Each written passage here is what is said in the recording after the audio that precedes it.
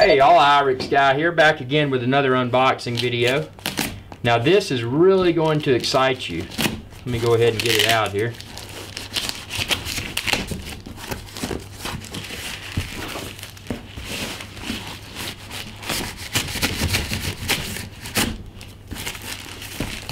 Packaged up really well, I must say.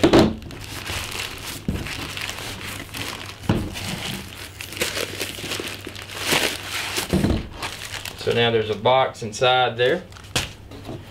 And now we're gently going to get into this box.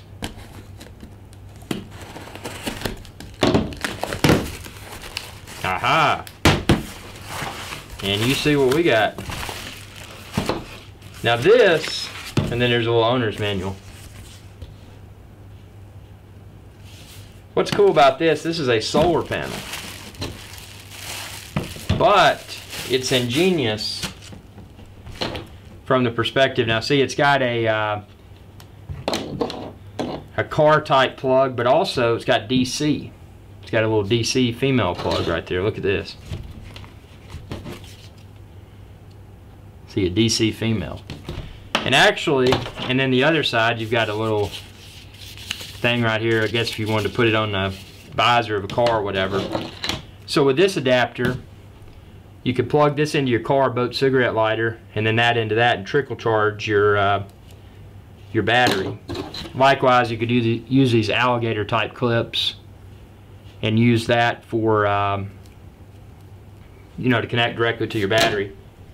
Comes with these suction cups which are really cool. And the reason I'm going to use this, I'm going to attach this to a window.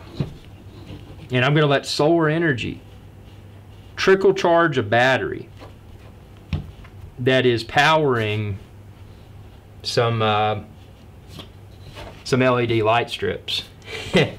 so this is this is going to be the source of renewable energy for my off the grid LED solar light strip solution.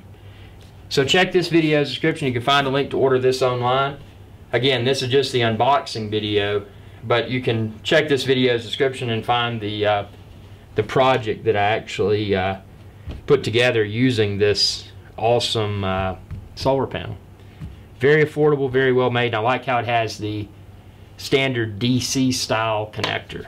So it really opens up your uh, your convenience without having to buy other wires and adapters.